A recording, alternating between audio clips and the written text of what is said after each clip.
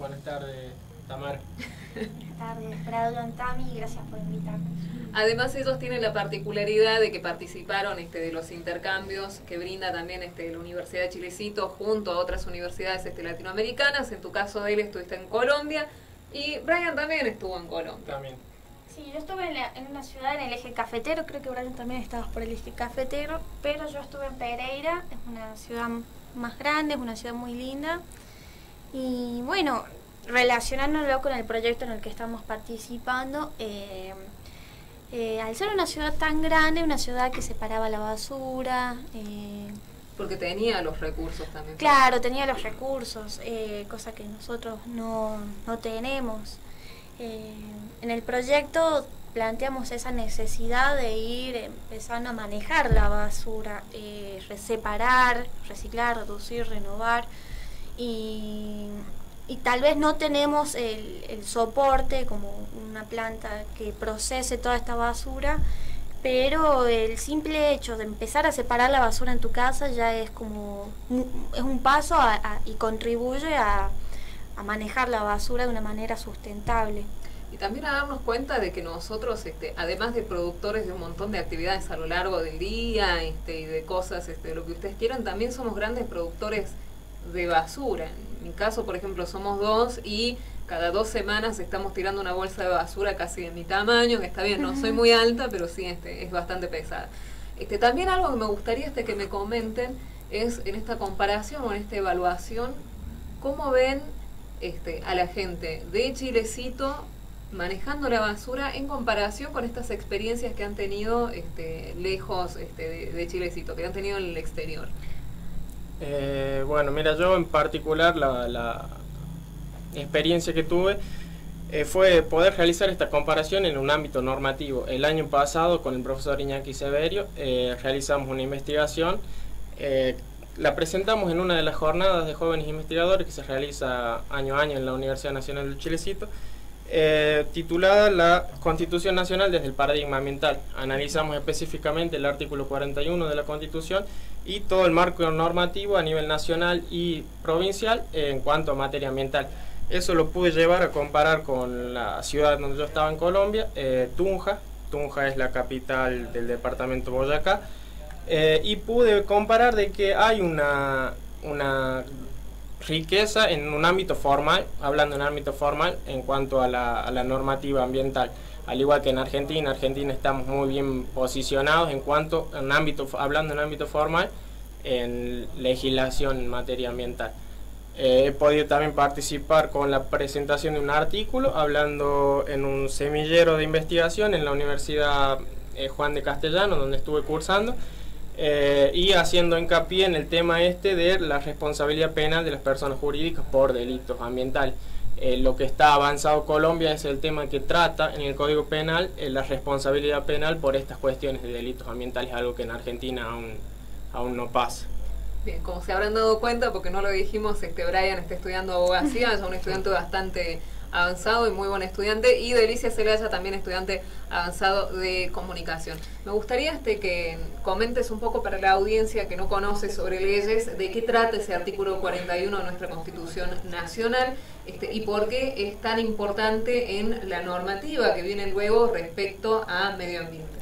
Eh, bueno, el artículo 41 de la Constitución Nacional básicamente eh, trata el derecho a un ambiente sano, es un derecho que ha tomado relevancia, sobre todo a partir en Argentina, a partir de la reforma del 94, la reforma constitucional del año 94, y a partir de esa incorporación del derecho al medio ambiente se ha venido legislando a, a lo largo de los años eh, materia ambiental de una manera muy amplia, la ley 25.675 a nivel nacional, que establece una serie de principios rectores en cuanto al tratamiento de la cuestión ambiental.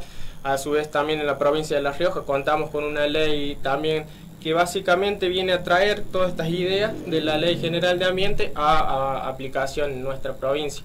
También contamos dentro del, departamento con ordenanzas por parte dictadas por parte del Consejo Deliberante, muy amplias también y que se ajustan a esta idea del paradigma ambiental, paradigma ambiental que viene a plantear eh, a la naturaleza como un sujeto de derecho y a darle una protección ¿no? mucho más amplia desde el ámbito legal.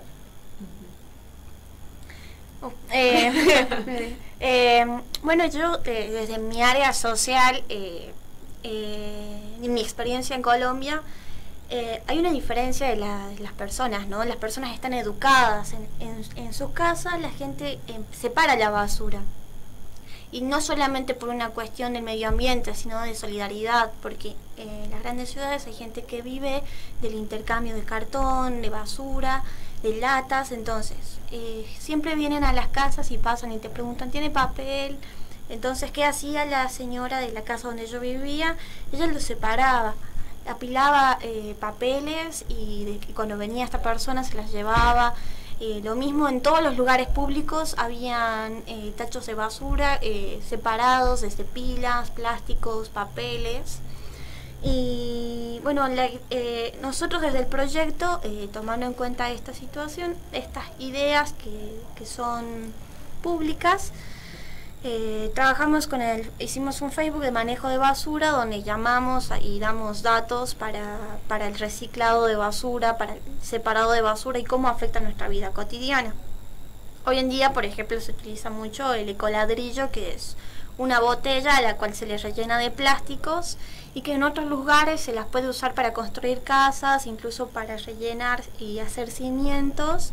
Y también en La Rioja, que si hay una planta procesadora, se llevan estos ecoladrillos y se los aplasta y se crean placas. La persona que se la lleva se la dan y ella la puede usar para, construir o hacer algo. Eh, asimismo, yo, eh, como decías, yo también en mi casa somos dos y yo eh, empecé a separar la basura, entonces vi un cambio en al, al hacerlo ya no, ya no tenía cinco o seis bolsas por semana de basura. Que encima huelen feo, huelen que mal, los exacto.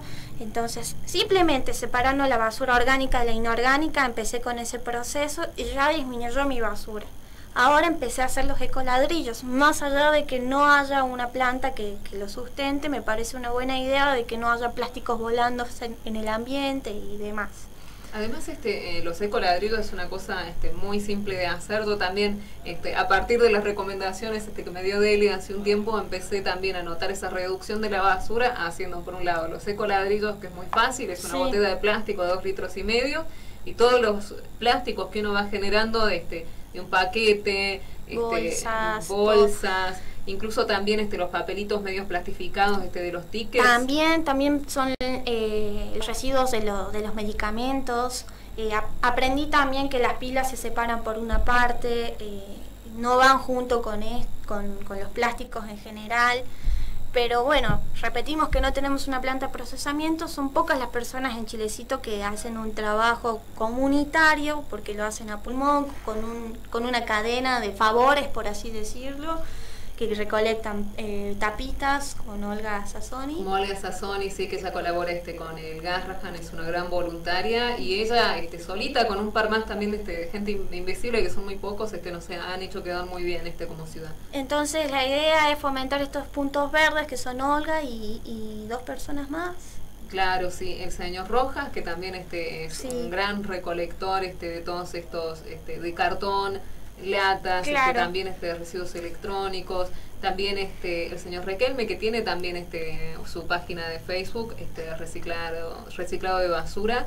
Este, y bueno, y la página del proyecto que es manejo de basura. Creo que si empezamos desde nuestra casa a separar la basura, ya eh, vamos a abrir espacio a lugares eh, de, procesamiento, así que, que pueda ser posible eh, no nos quejemos de la basura. Nadie quiere ver la basura en su casa, pero las vemos en las rutas todas distribuidas. Y era algo que yo en la ciudad donde vivía no se veía. También se debe que era una ciudad más grande que creo que ha ido aprendiendo este proceso. Nosotros somos una ciudad pequeña que puede ir creciendo y desarrollándose en ese aspecto. Eh, hace poco, la semana pasada, se, se aprobó la ley de lucha contra el cambio climático.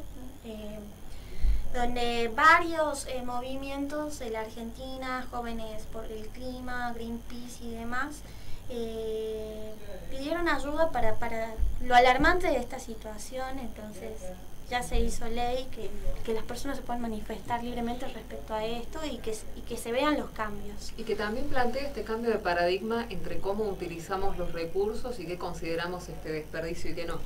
Yo particularmente, o sea, hablaba de Eli de la comparación esta con la ciudad que ella estuvo. Eh, voy a defender a mi ciudad, Chilecito. Creo que culturalmente Chilecito ha avanzado mucho y creo que eso es lo que hace depender ¿no? la situación ambiental, la participación que toma el ciudadano, porque podemos contar con las mejores leyes, con las mejores normas, eh, adecuar el sistema jurídico al paradigma ambiental, pero si no hay participación, si no hay iniciativa por parte de los ciudadanos, y de, nada va a servir. Yo lo que veo es esto, que en Chilecito, eh, culturalmente, eh, comparando con las situaciones que he vivido allá en Colombia, estamos muy, muy avanzados en cuanto al, al tema de tratamiento ambiental por parte ya del ciudadano mismo. Pero también este porque hubo una concientización. En esto este que vos planteabas de la legislación y demás, han habido diferentes movimientos sociales que han este, invadido, si quieren, este, la conciencia colectiva de buena manera y han influenciado en esta apreciación y en cómo miramos este, nuestro propio territorio. Este, el caso de Famatina, ahora el caso este, de Nonogasta también este, son casos que se están amparando en lo que es este medio ambiente sano y a destacar que todos estos movimientos fueron realizados por jóvenes. Creo que es propio de nuestra generación, estas últimas generaciones que tienen eh, el cambio de conciencia, son más ecoresponsables, eh, intentan consumir menos. Se dice que eh, esta información en todos los medios es una lucha ganada, que todos sabemos que tenemos que reciclar, que todos sabemos que tenemos que reducir, reutilizar, pero a la acción no se llega. Entonces la idea es eh, fomentar estas pequeñas ideas como el eco ladrillo, que para mí fue muy nuevo este año y que se viene trabajando hace años, y, fomentarlas, hacerlas conocer para que la gente pueda seguir trabajando con eso, y si nosotros como personas eh, desarrollamos y, y ven las recolectoras que la gente está separando su basura, va a haber una necesidad de que se empiece a, a, a, separarla y de que la gente la trabaje en distintos ejes es, es, como todo, tiene que ir acompañado, o sea, la normativa por la iniciativa, la iniciativa social. Y yo creo que de esta manera vamos a poder salir eh, más rápido adelante en esta cuestión y de una mejor, una manera más eficiente y eficaz.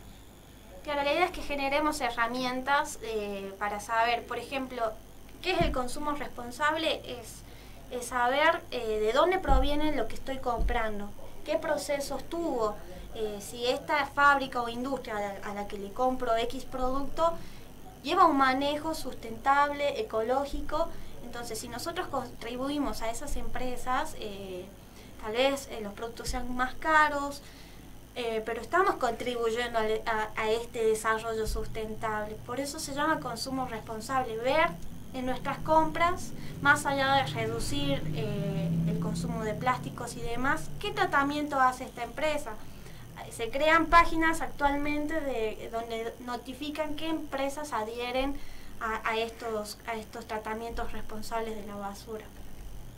Bueno chicos, este, les agradezco un montón eh, por su presencia. ¿Algo más que quieran decir? ¿Una última reflexión? ¿Alguna vía de contacto que quieran brindarle la gente este, de nuestra ciudad y también este, de nuestra provincia para empezar a concientizarnos sobre el manejo de la basura y también este, sobre cuánta cantidad producimos este día a día en nuestras casas, que eso es la alarmante. Sí, y nosotros mm, tal vez no lo pensamos, incluso desde nuestra ropa vemos que hay un, la industria textil es, es terriblemente abrasiva con el medio ambiente. Tal vez nosotros como una ciudad que ha sufrido la minería, vemos a la minería como lo peor que, que nos pasa en, nuestra situación, pero las grandes empresas papeleras contaminan tanto o igual que la minería y lo mismo que las industrias textiles. Entonces, desde, desde el consumo de nuestras ropas, eh, estamos generando esta, a esta contaminación. Los invitamos, por una parte, a que nos sigan en nuestra página de Facebook Manejo de Basura, donde puedan encontrar tips de reciclado, puedan encontrar estas empresas eh,